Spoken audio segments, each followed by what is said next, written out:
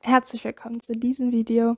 Ähm, heute möchte ich auf die Dramentheorie eingehen. Ich hatte Dramen selbst im Deutsch-Leistungskurs und jetzt im Studium behandle ich Dramen regelmäßig. Das Drama hat in seinem Aufbau mehrere Aspekte inne, die für eine Analyse sehr wichtig sein können und ähm, ja, analysiert man in einer Szenenanalyse ein Drama, sei es Komödie oder Tragödie, muss die Szene in den Kontext eingeordnet werden können. Das heißt, der Aufbau des Stücks muss gekannt werden und die Stellung der Szene innerhalb der Handlung muss danach beurteilt werden können. Es gab in der Literaturgeschichte mehrere berühmte Personen, die eine Abhandlung dazu verfasst haben oder anderweitig dazu Stellung bezogen haben. Gotthold Ephraim Lessing hat das zum Beispiel durch einen Briefwechsel getan. Und im Folgenden möchte ich die verschiedenen Abhandlungen zum Drama kurz erläutern und dann ähm, in einem anderen Video noch in einem Textbeispiel darauf eingehen.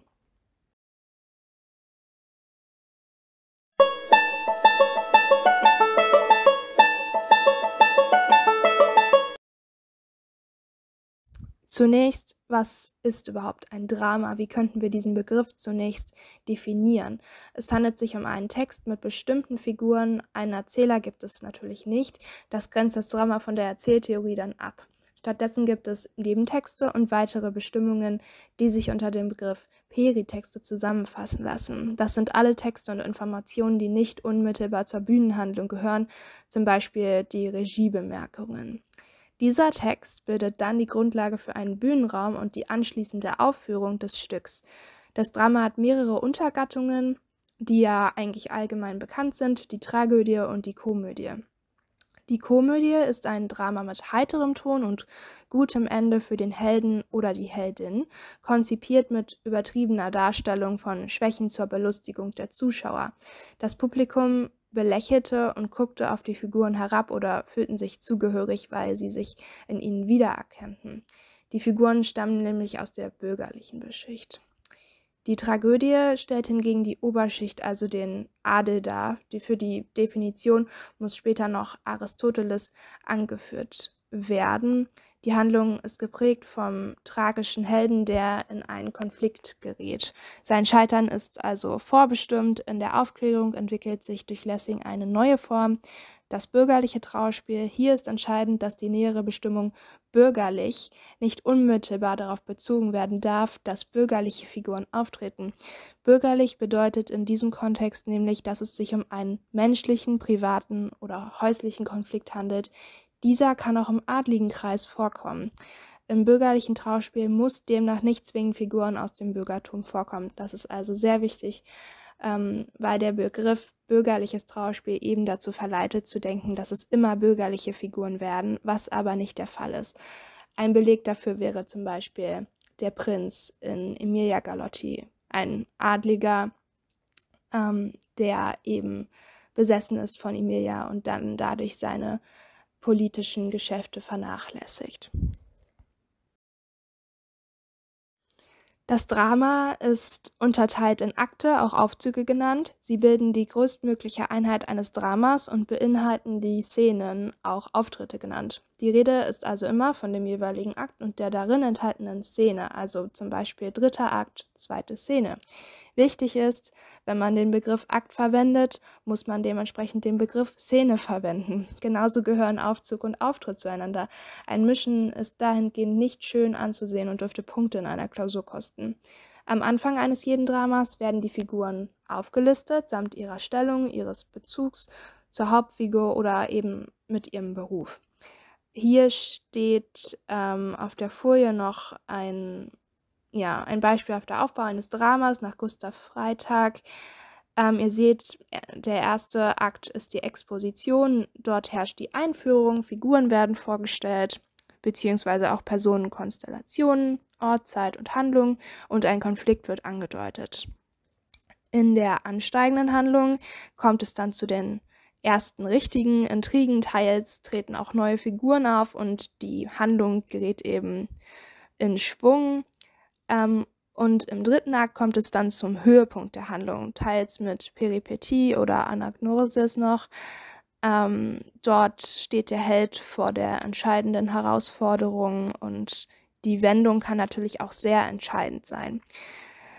Der vierte Akt beinhaltet das retardierende Moment, also das Moment der letzten Spannung. Dort passiert also nochmal etwas Wichtiges. Und soweit ich weiß, wird auch gerne aus diesem Akt eine Szene genommen, die dann analysiert werden soll. Ähm, gleichzeitig gibt es natürlich noch Hoffnung, wird der Held oder die Heldin womöglich noch gerettet. Und im fünften Akt kommt es zur Katastrophe oder eben auch zur Lösung. Das muss abgewogen werden. Ähm, ja, bei der Tragödie wird es aber meistens zum Untergang des Helden führen. Fangen wir mit den Kernthesen von Aristoteles an. Seine Konzeption eines Dramas stammt aus der Antike. Aristoteles hatte damals eine Abhandlung zur Tragödie, das ist wichtig, zur Tragödie verfasst. Die Komödie lässt er weitestgehend aus. Daneben seht ihr noch Opitz, Gottsched und Lessing, die ebenfalls bedeutend für die Dramenkonzeption sind. Aristoteles ist, wie gesagt, maßgeblich für die Definition der Tragödie in seinem Text Poetik hatte er dazu bestimmte Richtlinien verfasst. Die Tragödie ist für ihn, Zitat, die Nachahmung einer guten und in sich geschlossenen Handlung bestimmter Größe in anziehend geformter Sprache. Diese Definition bezieht sich auf die Mimesis, das ist der Begriff für die Nachahmung und laut Aristoteles ein Grundbedürfnis der Menschen. Die Schilderung eines großen Leids mit einer schönen Form und einer schönen Sprache wird in seiner Abhandlung angesprochen. Rhythmus und Melodie spielen eine wichtige Rolle, um den Schrecken zu überwinden und ansprechend darzustellen. So viel erstmal grundsätzlich dazu. Die Form wird ebenfalls angesprochen. Es soll eine gewisse Handlungsstruktur herrschen, beziehungsweise eine ganze geschlossene Handlung soll dargestellt werden. Die Handlung besteht nach Aristoteles also aus einem Beginn, einem mittleren Teil und einem Ende. Das klingt erst einmal selbstverständlich, ist aber in der Dramenhistorie variiert worden. Die einzelnen Ereignisse stehen dabei in einem Kausalverhältnis. In der Handlung kann es zur Peripetie kommen, zu einer Wendung, zu einem Umschwung der Handlung. Ein glücklicher Verlauf kann zu einem unglücklichen umschlagen. Wenn die Peripetie mit einem plötzlichen Erkenntnisgewinn zusammenfällt, spricht man von der Anagnorisis. Später wird von der Einheit der Handlung gesprochen. Darunter fällt auch die Konzeption für einen Tag, da die Tragödie innerhalb eines Tages aufgeführt werden sollte. 24 Stunden durften nicht überschritten werden, daher der Ausdruck Einheit der Zeit, ergänzt durch die Einheit des Ortes, also ein einziger Handlungsort. Der Held wird von Aristoteles als ein mittlerer Held bezeichnet. Er sollte weder ganz makellos noch komplett böse sein. Die Figuren sollten leiden, um beim Publikum Jammer und Schauder zu bewirken. Vor allem die Wirkungsabsicht wird im Verlaufe der Literaturgeschichte noch oft diskutiert werden. Also bei Aristoteles ist es Jammer und Schauder und bei den anderen werden wir das dann im Folgenden noch, im Folgenden noch sehen. Machen wir nun einen mächtigen Sprung in das 17. Jahrhundert und schauen uns Martin Opitz Abhandlung an im Barock entwickelte er sein Buch von der deutschen Poeterei, also 1624, und schaffte damit Grundlagen für eine volkssprachliche Dichtung und war gleichzeitig maßgeblich und bedeutend für die deutschsprachige Literatur im 17. Jahrhundert. Zum Beispiel Sibylla Schwarz hatte sich ganz maßgeblich an seine Abhandlung gehalten und es gab Sprachgesellschaften, die sich getroffen haben und wirklich Dichtungen verfasst haben nach seinen Regeln. Also er hat da wirklich maßgeblich dazu beigetragen und sein übergeordnetes Ziel war es eben, dass die deutsche Dichtung sich an die europäische angleichen kann, also nachziehen in der ähm, Qualität sage ich jetzt mal. Seine Poetik beschäftigt sich mit der Gattungsfrage, er befasst sich mit den verschiedenen Formen des Ausdrucks einer jeden Gattung und schafft somit eben eine Regelpoetik. Er weist mit seiner Schrift aus, was angemessen für die Dichtkunst sei, zum Beispiel benennt er den Alexandrinervers. Die Dichtungen sollten die Menschen beeinflussen, belehren, unterhalten und bilden. Die bedeutendste lyrische Form wurde das Sonett. Die dichterische Sprache sollte sich zudem von der Alltagssprache abheben. Die Tragödie wurde zur höchsten Kunstform und wird zunehmend mit hochgestellten Persönlichkeiten verbunden, was erst durch das bürgerliche Trauspiel im 18. Jahrhundert entkräftet werden wird. Zudem wurde im Barock die Dreistillehre verfolgt, die unterschiedliche Arten, die unterschiedliche Arten des Ausdrucks festlegt. Der niedere Stil dient zur Belehrung, der mittlere zur Unterhaltung und der hohe Stil zur Rührung. Die Wirkung sollte eine Tröstung des Publikums umfassen. Tugendhaftigkeit und Beständigkeit wurden eben demonstriert. Die Komödie spielt in der gesamten Abhandlung eine untergeordnete Rolle. Johann Christoph Gottsched entwickelte zu Beginn des 18. Jahrhunderts seine Regelpoetik, also gehört er damit schon zur Strömung der Aufklärung. Er schaffte ebenfalls erlernbare Grundregeln für alle literarischen Gattungen.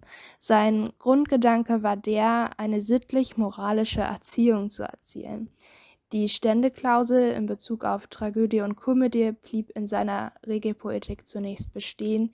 Er bleibt auch den drei Einheiten von Handlung, Ort und Zeit seinen Vorgängern treu, sowie in Bezug auf die Verskunst. Was sich allerdings in seiner Abhandlung unterscheidet, ist die These, dass alles naturgemäß konzipiert werden soll. Der Held muss nach nachvollziehbar und logischen ähm, Konzeptionen handeln. Alles, was konzipiert wurde, musste eben wahrscheinlich sein.